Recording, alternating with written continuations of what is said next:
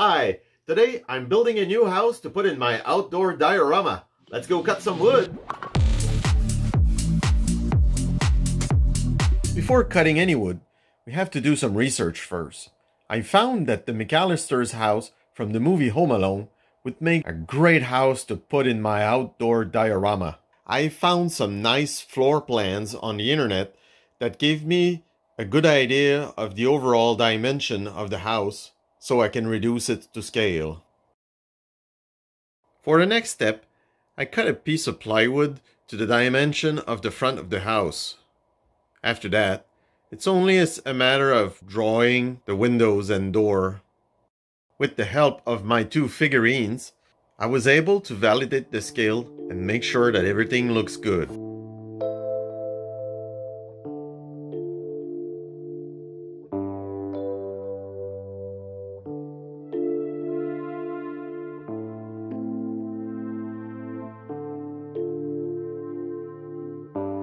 Since the back of the house won't be visible from the street, I've decided to cut open an access panel to manage the electricity and the lighting.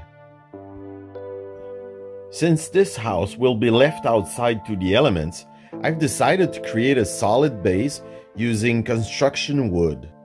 I've used 2x2s for the framing and a 1/2 inch thick plywood for the base.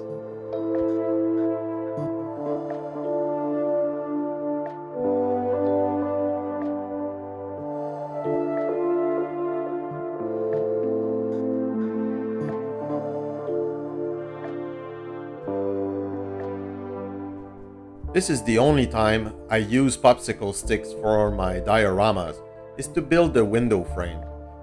At 3 eighths of an inch wide, a popsicle stick will do just fine to square off the windows.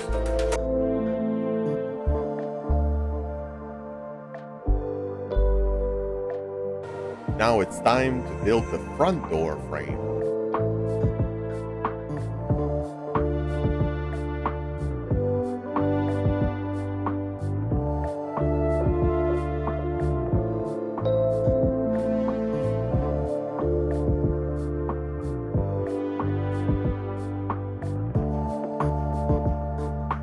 Next step is to paint everything before assembly. I chose this red paint to match what would look like bricks from the outside.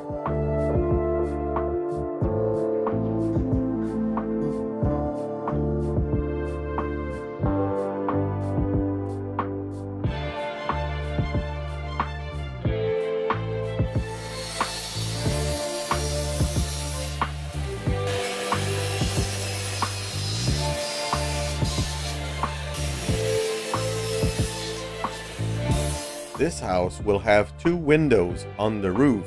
I used some leftover plywood to make those. They will be painted to match the rest of the house.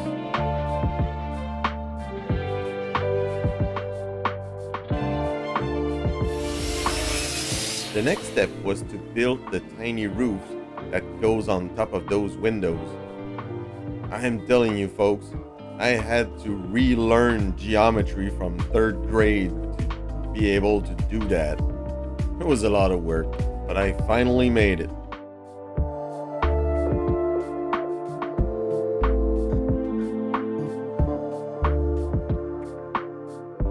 A little sanding to clean up the imperfections, and we're good to go.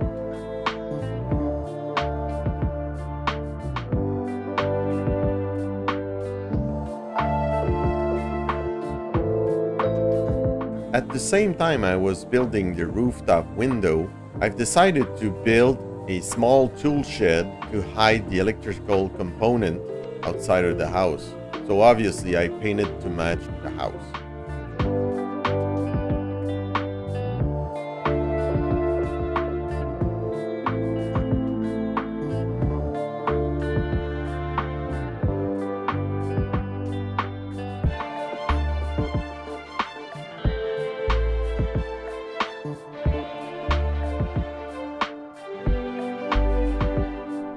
So the idea of building a curved roof for the front entrance is to cut a piece of plywood to the correct width and just soak it into water for about a week so it gets really, really wet. After that, all you have to do is to bend it in place and screw it on something solid and let it dry for a week. After it's all dried and formed, you can just pick it up and cut it to the length that you want.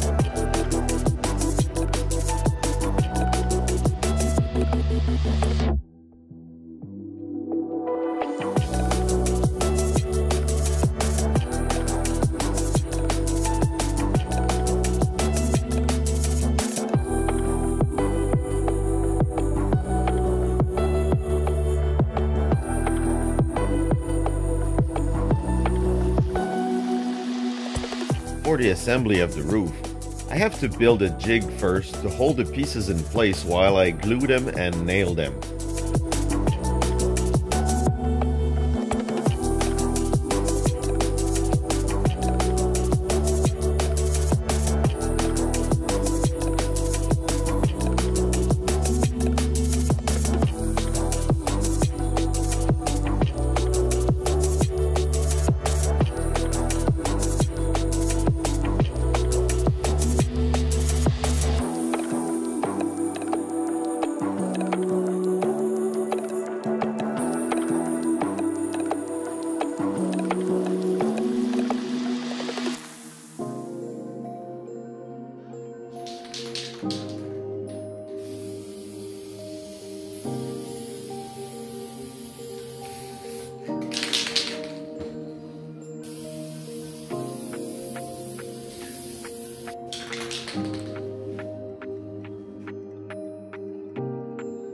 I use placemats that I found at uh, my local decoration store to use for uh, window drapes.